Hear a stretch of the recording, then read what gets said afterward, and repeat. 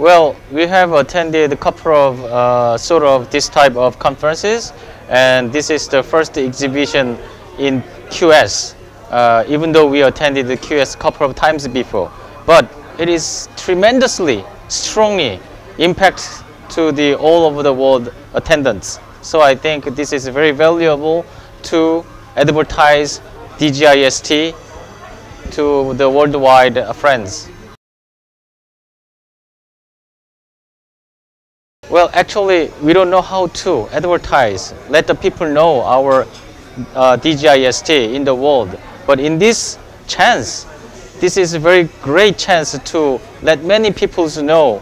And I, I and also my colleagues always think how to improve the advertisement because all the participants try to their best. So uh, in our case, I wearing our uh, uh, jump and then we especially prepare a lot of uh, souvenirs. So uh, I think this type of strategy help uh, uh advertise DGIST in this good conference.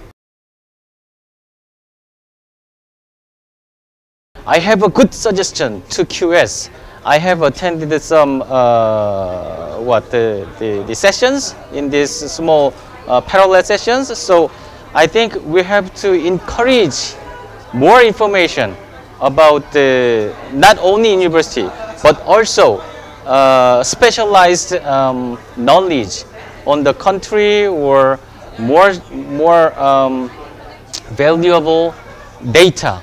I think um, many people also wanted to know the uh, uh, university's uh, properties, but I think um, we are we, we wanted to know the other uh, uh, attractive information, okay? Not the general information. Attractive information is very important.